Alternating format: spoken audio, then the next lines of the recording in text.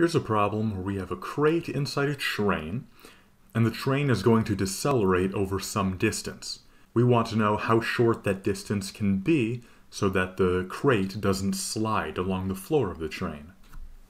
This is the kind of problem that's kind of hard to solve using free body diagrams because an accelerating train is an example of a non-inertial reference frame, where if we try to draw a free body diagram of the block, then there's like an imaginary fictitious force pushing on the block in the other direction as the train slows down. So I'm not going to bother with free body diagrams for this problem, but I am still going to try and use Newton's second law, which states that the net force acting on an object is equal to its mass times its acceleration, which can also be written as acceleration, where the acceleration is equal to the net force divided by the mass. This is the version of the formula that I'm going to be looking at, because even though a free body diagram of forces isn't going to be super easy to work with, we can still think of this pretty easily in terms of accelerations. We still have a block, and there's still a floor, and we want the frictional force here to be constant. So instead of thinking about different forces acting on the block, we can still think of it in terms of the acceleration that the block is going to experience needs to, at the very least, be perfectly countered by the acceleration that would have been experienced by the frictional force. So let's say that the variable a represents the train's acceleration. This acceleration must be no greater than the acceleration that we would find by taking Newton's second law on the frictional force. So that's the static friction and conveniently for us, this problem is simple enough where the frictional force is the only horizontal force that's relevant here. So the frictional force is equal to the coefficient of friction, in this case static friction, times the normal force on the block, which, again, if there are no other uh, forces in the vertical direction, that's just going to be equal to its weight, mg, divided by the mass.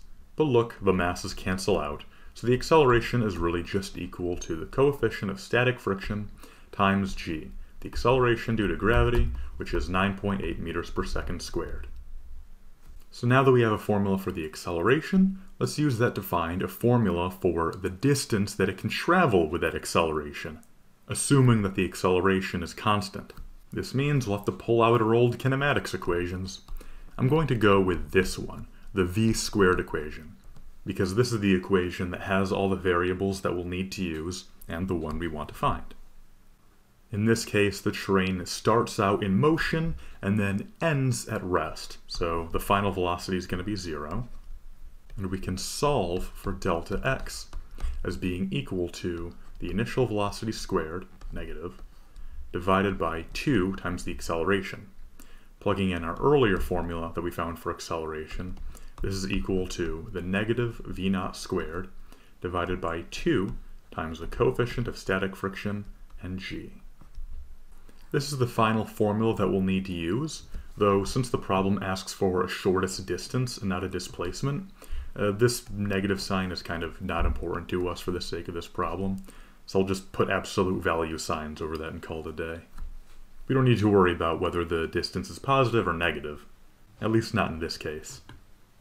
The last thing we want to do is convert the speed, which is given to us as 50 kilometers per hour, into meters per second. So I just take the speed in kilometers per hour and multiply it by this by this uh, conversion factor right here, 1,000 meters over 3,600 seconds. And then you'll find the speed in meters per second. Anyways, so we take all that and plug it into our formula, and you'll find a distance of about 39 meters. So this is the shortest distance over which the train can begin decelerating if we want to avoid the crate from sliding on the floor of the car. That is all for this problem. If you have any questions, please leave a comment down below and I'll try to help you out. And if you have any requests for future videos to do, then again leave a comment. Alternatively, I have a Discord server linked in the description down below. You can join and ask any question you want and I'll see if I can answer it on this channel. But that's all for today and I hope you have a good night. Bye-bye.